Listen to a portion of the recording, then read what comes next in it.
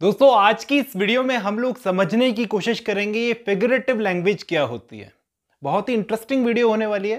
मैं एक नए तरीके से समझाऊँगा। चलिए शुरू करते हैं। मिलता हूँ इस वीडियो के एंड में। फिगरेटिव लैंग्वेज आज की इस वीडियो में हम समझने की कोशिश करेंगे ये क्या होता है। फिगरेटिव लैंग्वेज ये एक ऐसे टाइप की लैंग्वेज होती है, जो बोलती तो कुछ और है और उसका मतलब कुछ और निकलता है। एग्ज़ाम्पल देकर समझाता हूँ। मेरा एक दोस्त है, गिरीश। वो घोड़े की तरह दौड़ता है। अब मेरा ये मतलब नहीं है कि गिरीश के घोड़े के पैर लग गए और वो तबड़िक तबड़िक करके दौड़ रहा है। नहीं। मेरे कहने का मतलब ये है कि वो बहुत फास्ट दौड़ता है। जैसे घोड़ा बहुत फास्ट दौड़ता है, वैसे गिरीश भी बहुत फास्ट दौड़ता है। अब मैंने एक अलग तरीके से इस बात को बोला। मैंने बोला, गिरीश घोड़े की तरह दौड़ता है। तो कितना अच्छा लग रहा है सुनने में। गिरीश घोड़े की तरह दौड़ता है। तो फिगरेटिव लैंग्वेज वो होती है जो बोलती तो कुछ और है और उसका मतलब कुछ और निकलता है। अब इस टाइप की लैंग्वेज में बहुत सारी वैरायटी होती है।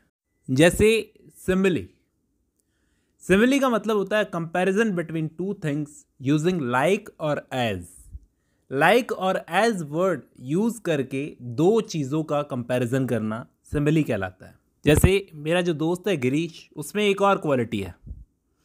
वो भेड़िए की तरह खाता है। गिरीश भेड़िए की तरह खाता है। Girish eats like a wolf मैंने यहाँ पर गिरीश और भेड़िए का कंपैरिजन किया लाइक like वर्ड का यूज़ करके, क्योंकि मैंने सच में देखा है कि वो भेड़िए की तरह खाता है।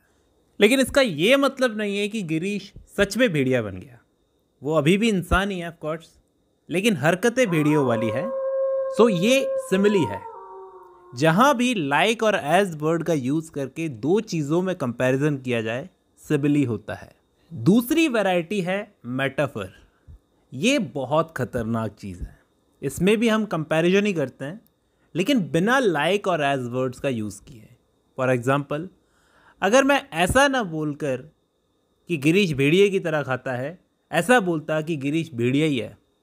गिरीश इज़ अ वुल्फ तो ये एक मेटाफर होता। वैसे मेरे कहने से गिरीश, भेड़िया नहीं हो जाएगा।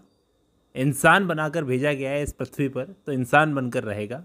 ये अलग बात है कि हरकतें उसकी वीडियो वाली है। तो सिमिली की ही तरह मेटाफर में भी दो चीज़ों का कंपैरिजन होता है विदाउट यूजिंग लाइक और as next figure of speech है पर्सोनिफिकेशन पर्सोनिफिकेशन का मतलब होता है नॉन लिविंग ऑब्जेक्ट्स को इंसानी क्वालिटीज़ देना। जैसे मेरे सामने वाली खिड़की में एक चाँद का टुकड़ा रहता। है मेरे सामने वाली खिड़की में एक चाँद का टुकड़ा रहता। है तो चाँद का टुकड़ा कैसे सामने वाली खिड़की में रेंट पर रहने आएगा?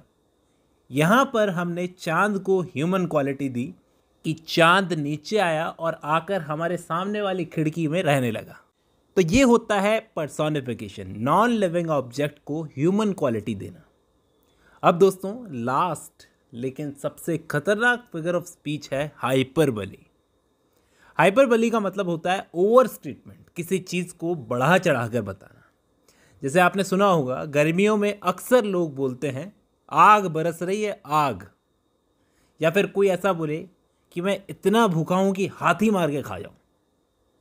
तो ये है ओवर स्टेटमेंट इसको कहते हैं हाइपरबली तो इसी को हम फिगर ऑफ़ स्पीच या फिर फिगरेटिव लैंग्वेज कहते हैं, जिसका मतलब कुछ और होता है और वो बोलती कुछ और है लैंग्वेज